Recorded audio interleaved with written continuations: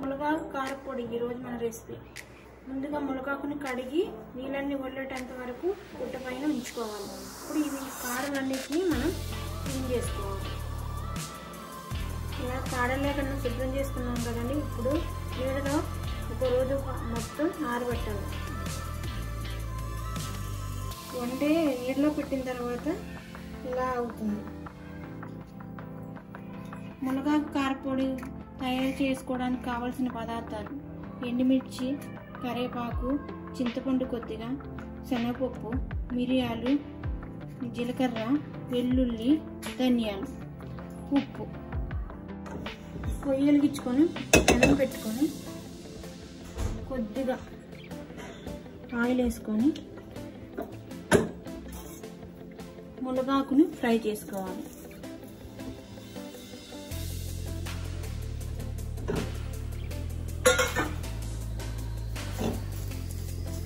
కలుపుకుంటూ ఫ్రై చేసుకోవాలి. చూసారు కదండి ఇది ఇప్పుడు వేగిపోయింది. ఇప్పుడు దీన్ని ఒక ప్లేట్లోకి తీసుకున్నాం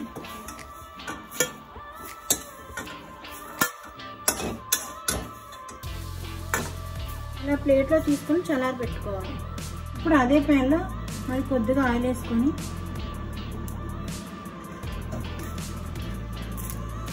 ముందుగా శనగపప్పు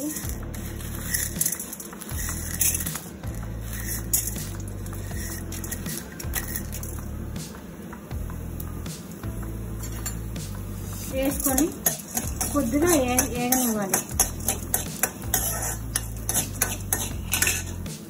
శనగపప్పు వేగిందండి మిగతావన్నీ కూడా ఇలా వేసుకోవాలి.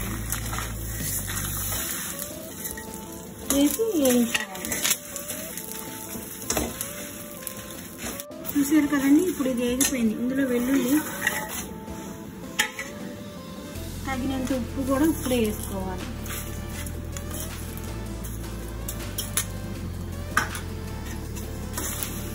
ఇది చల్లారిన తర్వాత మిక్సీ చేసుకోవాలి.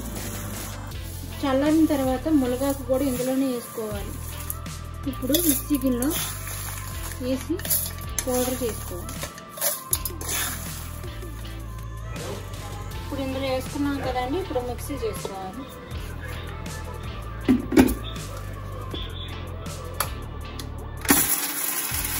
కారం పొడి అయిపోయిందండి ఇప్పుడు మిక్సీ ఇప్పుడు గ్లాస్ సీసాలో తీసుకుంటే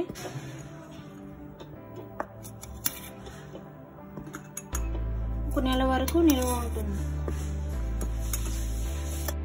ఇది ఇప్పుడు వేడివేడి అన్నంలోకి నెయ్యి వేసుకొని తింటే బాగుంటుంది. లేకపోతే నువ్వుల నూనెతో కూడా బాగుంటుంది. ఇడ్లీలో కూడా నెయ్యి వేసుకొని తింటే చాలా బాగుంటుంది.